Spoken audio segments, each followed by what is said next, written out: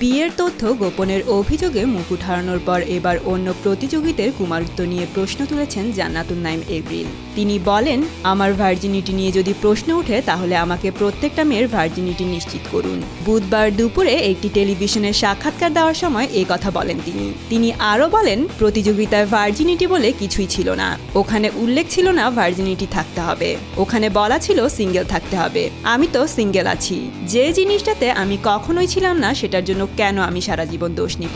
উল্লেখ্য, উনত্রিশ সেপ্টেম্বর রাতে প্রতিযোগিতার গ্র্যান্ড ফিনালেতে বিজয়ী হিসেবে ঘোষণা করা হয়েছিল জান্নাতুল নাইম এব্রিলের নাম। এরপর গত ছ দিন ধরে সামাজিক যোগাযোগ মাধ্যম ও গণমাধ্যমে এব্রিল ছিলেন সবচেয়ে আলোচিত নাম। বিজয়ী হওয়ার পর গণমাধ্যমে উঠে আসে তার বিয়ে ও বিচ্ছেদের খবর। এর পরিপ্রেক্ষিতে ফেসবুক লাইভে এসে বিয়ে ও বিচ্ছেদের কথা স্বীকার করে নেন তিনি।